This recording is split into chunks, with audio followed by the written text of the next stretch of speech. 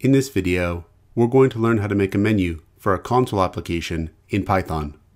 We're going to present the user with a set of options to choose from again and again until they choose to quit.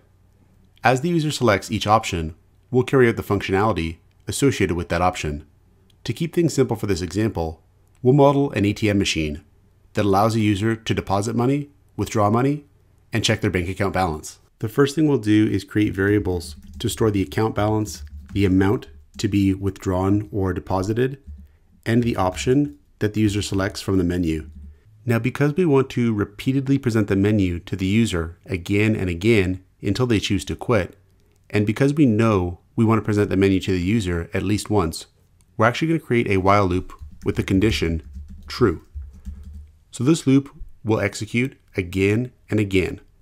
We're actually going to use the break keyword to break out of this loop when we do want to quit. Next, we'll present the user with the menu of options. So for one, we'll have deposit. And then for two, we'll have withdraw. For three, we'll have print balance. And for four, we'll have quit.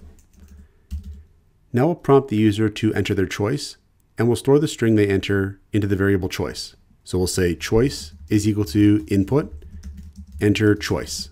So the input function will output the text enter choice, and the string the user enters will be returned from the function and stored into the choice variable. We'll use the strip method to trim off any leading or trailing white space that the user entered when entering their choice. So we'll say choice is equal to choice.strip. And the strip method will just take off any leading or trailing white space. Next, we can actually check to see which option the user selected. We'll have an if, else if, else control structure to help us do that. We'll say if choice is equal to the string one, then the user wants to make a deposit. So we'll prompt the user for the deposit amount and we'll store it into the amount variable. So we'll say input, enter amount. And what this float function is going to do is take the string that's returned from input and convert it to a float. And we're going to store that into amount. Then we can add that amount to the balance. So we'll say balance plus equals amount to add the entered amount to the balance. If the user enters 2, that means they want to withdraw money. So again, we'll prompt the user for an amount and we'll use input to prompt the user and float to convert the string that's entered into a float.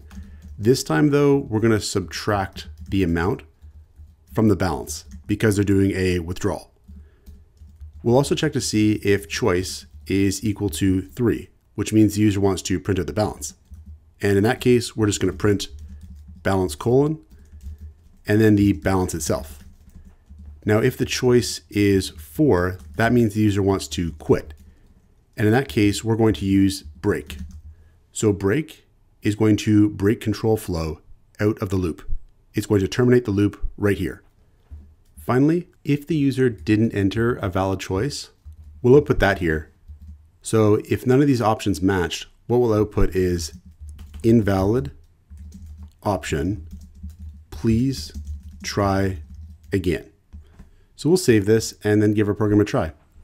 So we'll have python d.py First, we'll print out the balance by entering choice 3, and initially it's 0, and that makes sense. Then we'll try to deposit money, so we'll enter in choice 1. We'll enter in an amount of 200. And now, if we print out the balance, we get a balance of 200. Then we'll try withdrawing money. So we'll say choice 2. We'll enter the amount 100. And now if we print out the balance, we get a balance of 100. And finally, we can quit.